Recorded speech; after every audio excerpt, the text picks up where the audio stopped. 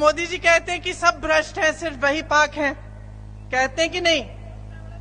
और अपने मुँह मियाँ मिट्टू खुद की तारीफ़ खुद करते हैं कि भाई मैं ही एक ईमानदार हूँ, इस पूरे देश में बाकी सब चोर हैं। दो मुख्यमंत्रियों को जेल में डाल दिया। हा? बाकी जितने मुख्यमंत्री उनके नहीं है, उन पे केस डाल दिए। मेरे भाई का घर ले लिया, ये पता नहीं क्या क्या कर दिया, कैसे कैसे केस, कहीं सूरत में केस है तो कहीं बिहार में केस है तो कहीं और केस, ताकि वो दौड़ते रहे एक जगह से दूसरी कचहरी में। ठीक है? सारी एजेंसियों का इस्तेमाल कर लिया।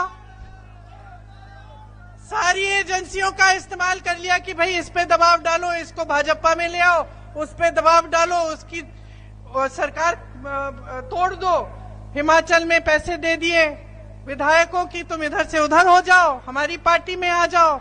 और ये काम सरकारों को तोड़ने का, लोगों को भ्रष्ट कहने का, एजेंसियाँ भेजने का ये काम करते जा रहे हैं दिन भर। बहुत व्यस्त हैं इस काम में। इतने व्यस्त हैं कि आपके रोज़गार के बारे में भूल गए हैं, कि महँगाई के बारे में भूल गए हैं। और फिर सच्चाई सुनिए सच्चाई सुनिए कि सुप्रीम कोर्ट का ऑर्डर आया कि ये जो चंदा ले रहे हैं, इसका खुलासा करिए। खुलासा किया, क्या पता चला? जो पुल बनाया था गुजरात में, जो गिर गया, उसका चंदा खा गए। जो वैक्सीन लगी थी आपको कोविड में, उसका ज़ोर से बोलो। अब ऐसे अनगिनत चीज़ें हैं उसमें। किसी को ये ठेका दिया, चंदा लिया।